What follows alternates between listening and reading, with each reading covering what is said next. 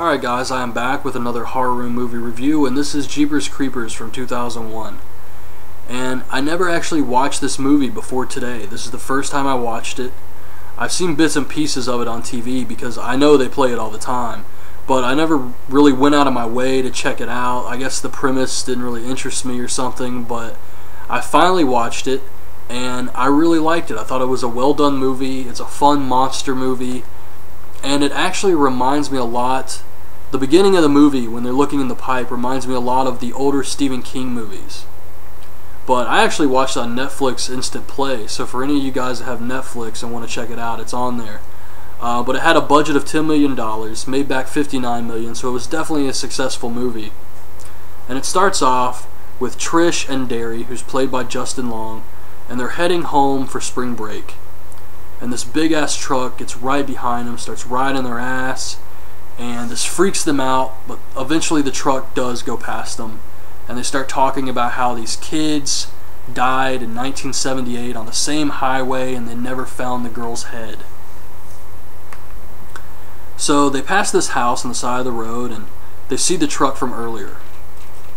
And they see the creeper throwing a body into this pipe. And as they drive by, the creeper sees them watching him.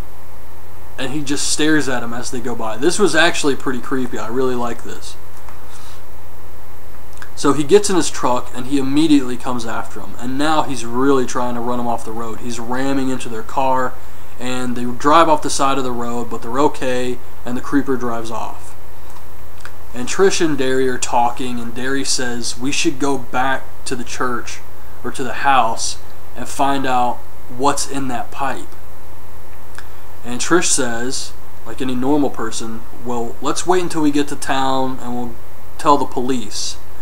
And he says, well, we, sh- we should really go. If they're alive, maybe there's something we can do. And this is a horrible idea. They should have called the police, but then we wouldn't have a movie. So they decide to go back to the pipe. And they pull up to the old house, which is actually a church and Darry hears someone in the pipe. So he starts crawling down there, and Trish says, You know how you're watching a horror movie and someone does something stupid and everyone hates them for it? This is it. Actually, I think that was when he said, Let's go back to the pipe. but Darry sees some rats. He starts freaking out. This causes Trish to drop him, and he falls down the pipe. And he hits the ground, but he's okay. And he tells her to flag a car, or actually he starts looking around and he finds the body that the creeper dropped down there. And it's some guy, he's still alive but he can't talk, his stomach's been cut open, and then he dies. And Darry runs back and tells Trish to flag down a car and have them call the police while I try to find a way out of here. So he's looking around this basement and he sees more bodies and then he looks up at the ceiling. Something like drips on him, and he looks up, and the entire ceiling is covered with bodies. But they look plastic, like mannequins.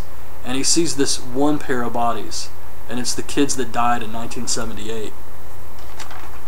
So that was pretty good. And Darry finds his way out, but he's catatonic. He's just in shock at what he's seen. And they stop to get some gas, and the truck is heading back to the church. So now they're really freaking out because they know as soon as he gets back there, he's going to know they were messing around. So they go in a diner and they ask him to call the police, but they're acting all crazy. Like they're not calm, they're not saying, hey, we need to talk to the police. They're just freaking out everyone in the diner. And this diner is packed full of people for some reason. But the payphone rings, and Trish answers it, and it's some lady talking about cats she describes Darry and Trish perfectly, and she tells Darry that he found his house of pain and that it's never going to stop coming after them. And she plays Jeepers Creepers for him and says that if he hears this, to run because it means something terrible is going to happen. So Darry tells the cops what he saw, but they don't believe him. One of the waitresses runs in and says someone was sniffing their clothes outside and looked like he liked it or looked like he was liking it. So the clothes are all over the parking lot. But at least now the cops believe them that someone's messing with them. So they head back to the old church. The cops are following them. They get a report that the church is burning down. Someone set fire to the church. And Darry hears Jeepers Creepers on the radio.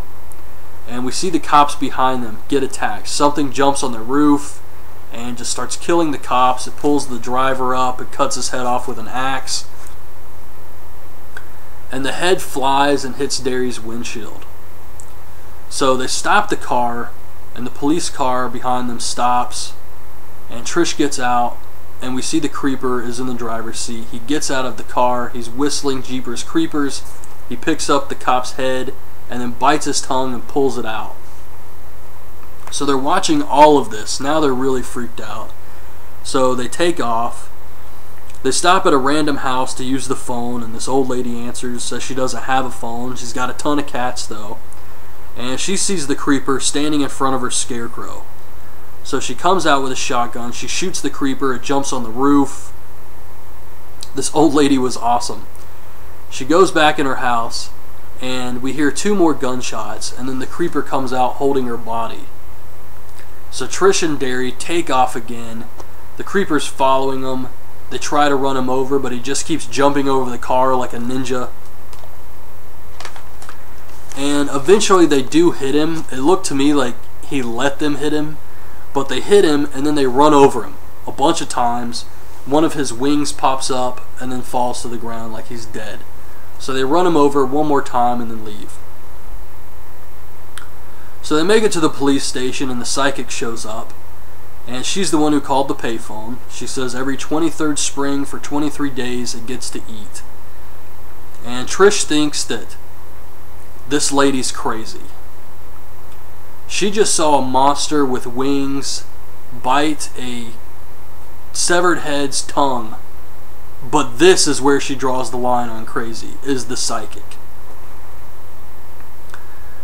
So the psychic tells them that it eats things like lungs so it can breathe, eyes so it can see, and one of them has something it wants. So the lights and the phones in the police station go out, and a cop is checking on the prisoners and sees the creeper eating one of them. He shoots it, but of course it has no effect. And excuse me.